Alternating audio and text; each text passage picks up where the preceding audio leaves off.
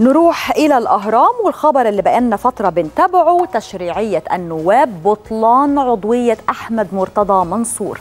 انتهت لجنة الشؤون التشريعية والدستورية بمجلس النواب برئاسة المستشار بهاء أبو شقة. إلى عدم وجود أي تعارض في الحكمين الصادرين بشأن النائب أحمد مرتضى منصور بدائرة الدقي في محافظة الجيزة ومن ثم بطلان عضوية النائب أحمد مرتضى.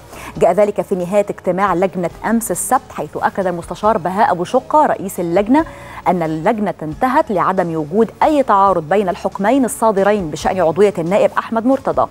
وسيتم كتابة تقرير النهائي بهذا الأمر صباح اليوم الأحد لرفعه